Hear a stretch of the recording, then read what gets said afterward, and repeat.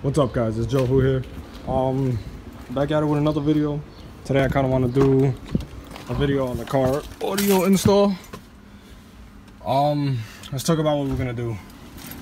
Fuck it, I'll leave the car off.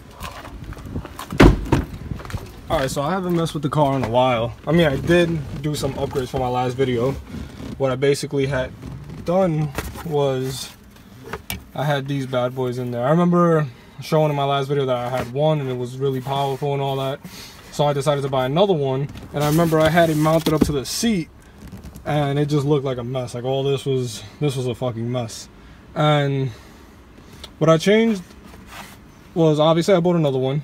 And what I did was I made these little pods for it.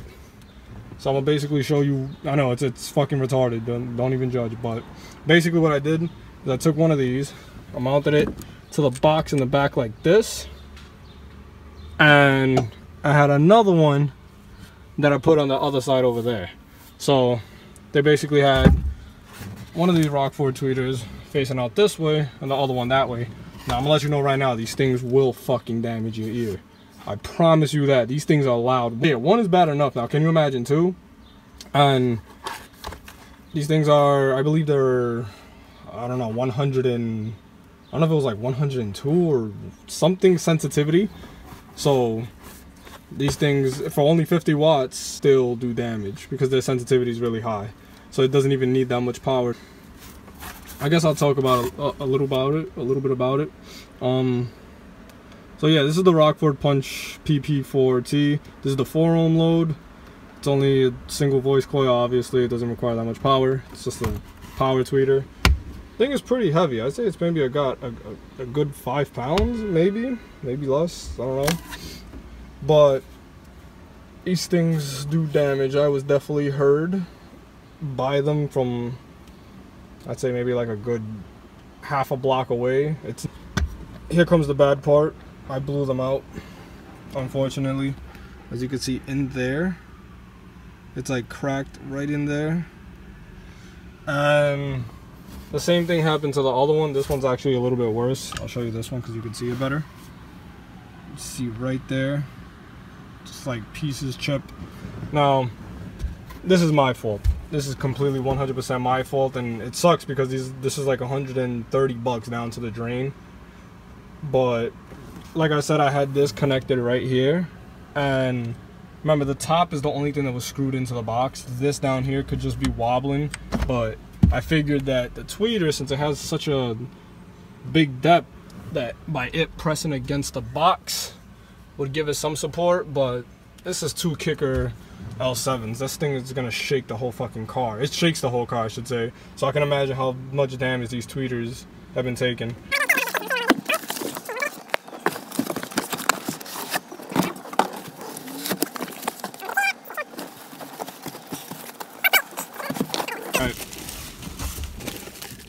So I bought a six by nine pod. The reason I bought this was because I got like I got like eight speakers just waiting for me in my house that I had bought a while ago and they're still good. So I'm like, why not just take the cheapest route? Because remember, for two of these, it's gonna be 100 and about 130.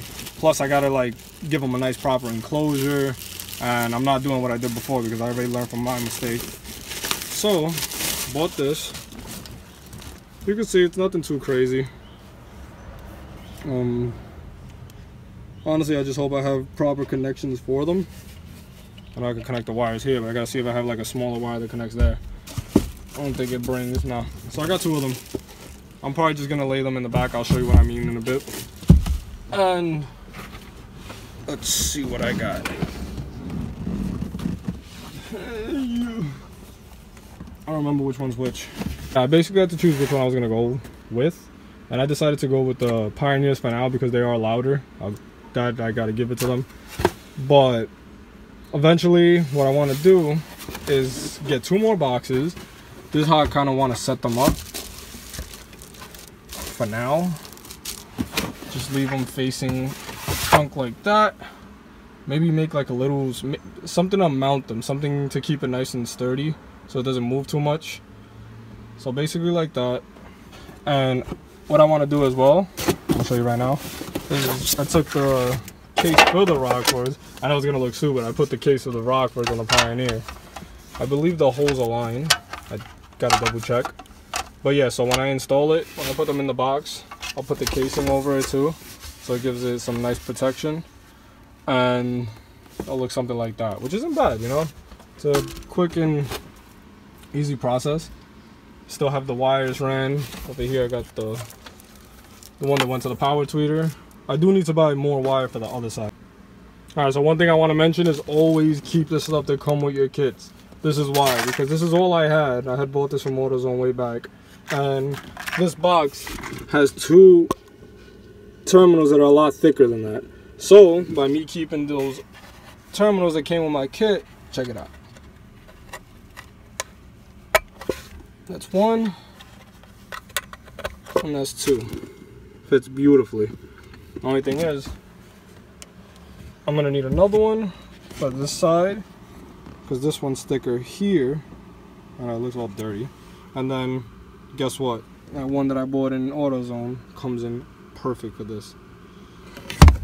Always keep your stuff. Damn, I just smacked, like slammed the speaker. But yeah, always keep your whatever equipment you get. You never know when you're gonna need it. All right, so I'm back again. Like I said, I didn't have the wires. They didn't bring wires in here that connects automatically and does it for you. That's like the downside of this box.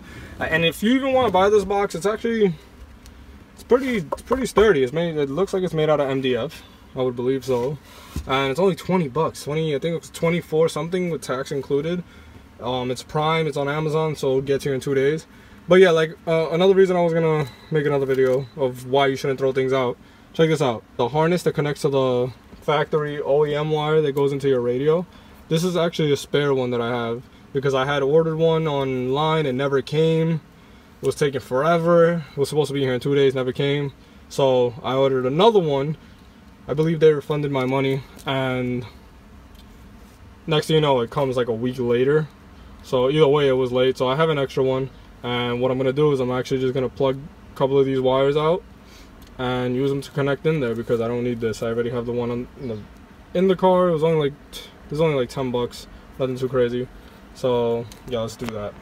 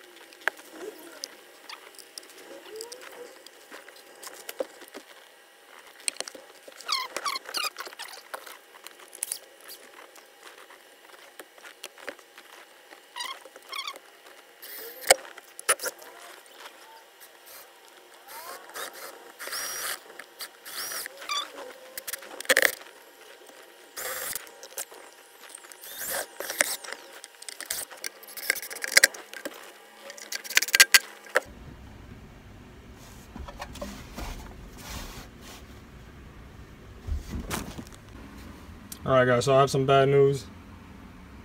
Like I said, I was pre-drilling them and that came back to haunt me. Bam. Sucks. But, I have good news because when I had bought these, I got four pairs of them, so I got two more downstairs. So let's go get them. Alright guys, so far so good. This is how it looks. As you can see, it's not bad. So let's just hope everything turns out good and keeps going the way it's going. For this one, just gotta connect this wire over here. Get that out the way. As you can see, I have a tape, lets me know what positive is, which was positive, which is negative. Just gotta plug those two right there. Then I got a wire in the back that I gotta run through there. It's not too long, so I'm gonna leave it right there. And this is how I'm gonna leave it for now. So as soon as I get everything connected, I'll make a video, make a little test run, and let you know how it sounds. Alright, so I ran into a little problem. Basically, when I had my little tweeter pod connected, I only had a remaining short wire, so I connected it just right there. It just gave. And right here, this is going to be a little tight. As you can see, it barely gives. I'm to just push this back. Make the best of it for now. Until I go get wire, I could just go to AutoZone, get some cheap wire. It doesn't really matter for now and that should do so I'm about to just connect this. Um take my voltmeter and make sure that the ohms and everything is correct. Make sure the resistance it's 4 ohm they're working properly and we'll get back to it. As I was able to make the wire fit um just push the subwoofer a little back. Uh what I gotta do? All right so I gotta take these and I gotta split them up I have my wires over here, as you can see. Everything's all ready for me. See if I can get this to stand. Uh, okay, it should do for now. Alright, so these are just Y splitters. You know, you could get these pretty much anywhere. They have them in Best Buy. It will be more pricey, so you could just get it on Amazon. I don't have a direct link to it because I actually got these from Best Buy. I was able to get a discount. Um, make sure it's together. So there's gonna be one channel. Well, is gonna actually be for two channels. This is gonna be for the other two. The thing about this amp that I find funny is that your first two channels are over here on the left on the right the left side. Let's say the left side of this. But then you come over here and you would think that this is for channels one and two. This is actually for channels three and four, as you can see right down there. I find that a little retarded, but it is what it is. I'm gonna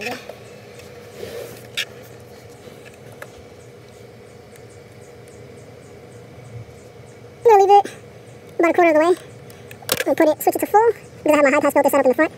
Um, just in case, I'm gonna leave my high pass filter, filter, you filter, filter. I'm gonna leave it right there. Bass response is all the way down, and we'll see how that goes. Set the ohm load over here to 200 since that's the least.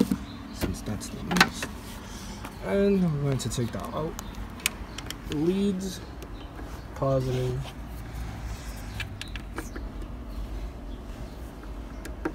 To positive, like that. I'm gonna come over here. About 3.5. It's supposed to be a 4 ohm load, 3.4. Let's see. Yeah, and the other one is also a 3.4. So it shows they're working. These are not broken speakers, pop speakers, which is probably something I should have done before I even put them in the box. So if you do something like this, make sure you definitely do that ahead of time. And now just to see how they sound. So I'm in the front of the car. I would plug my phone in to use it to listen to music, but I'm using it at the moment. Bass knob as always. Um, so yeah, we're gonna, I'm gonna show you how I listen to only the back speakers right now. I had showed you in the other video, which is whatever, but First, I'm going to turn off the subwoofers. You can just turn that off right, oh, whoopsie, right there. See, as you can see, I told you I had the high pass filter over here, so I have it set to 80. Um, and now, since I divided those two leads that I showed you with the Y splitters, one of them controls the front and one of them controls the back. Now, remember I told you I had my speakers connected into a 2 ohm load and then sharing two channels. So since they're all four sharing the front channel, I could just set it to the rear, I believe is the... Okay, so I'm going to try to elaborate on what I was trying to say exactly in this scene. So basically I have four speakers in the car connected to the doors and the rear deck. Those are the factory replacements and that's where I replace the factory speakers of course. Now those are connected together. I have two speed the two front speakers, the two front door speakers, driver's side and the passenger side are connected to a 2 ohm load. They're connected in parallel. So those two are connected to channel 1 and then the rear deck speakers are also connected in parallel and they're connected to a 2 ohm load and they're connected to channel 2. So four speakers are only taking up two channels which leaves the channel 3 and 4 available which is where I'm going to connect these two speakers and I'm not going to connect these in parallel. I'm just going to let them use each channel separately. So this is where the balance feature comes in really handy because if I switch it to the left side, it's going only going to play channels 1 and 2. but if I switch it to the right side, it's going to play channels 3 and 4, which would allow me to be able to test out my two new speakers. Voy acercando y voy armando el plan. Solo con pensarlo se acelera el pulso.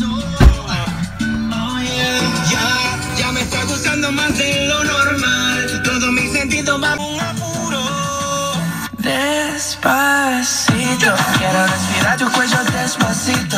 Deja que te diga cosas al oído. Para que te acuerdes si no estás conmigo. Despacito, quiero desnudarte a besos despacito. Firmo las paredes de tu laberinto. Hacer de tu cuerpo todo un manuscrito.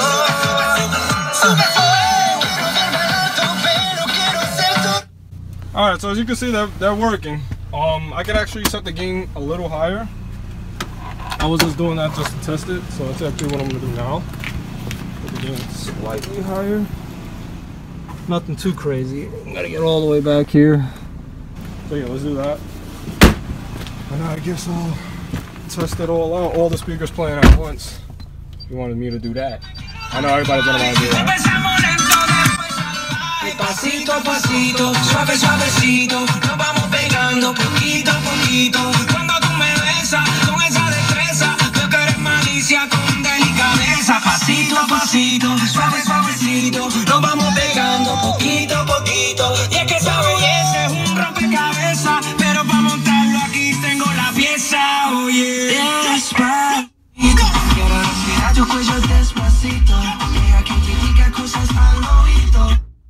Let me not play too loud because I am in my driveway. I don't want to bother, bother everyone. I don't want to bother everyone, but yeah. Guys, that's my setup. That's my install. I hope you enjoyed it. Um, I do got a lot of cleaning up to do. I got to do zip ties. I do need to get extra wire. But as you can see, these things came out pretty good. It's not bad at all. For the price, it was only 24 bucks. If you have extra speakers lying around, 6 by 9 6 and a half, they come in all sizes make sure you know you, you could do something like this and i'm pretty sure you guys are more creative than i am so you could definitely do a lot better. This just added two more speakers. Now i have six speakers in the car to equal out with my kicker l7s because those things are powerful and they can overpower my regular speakers. So yeah um i'm definitely gonna be bumping today. I want to enjoy them. So hope you enjoy the video. If you like it give it a thumbs up.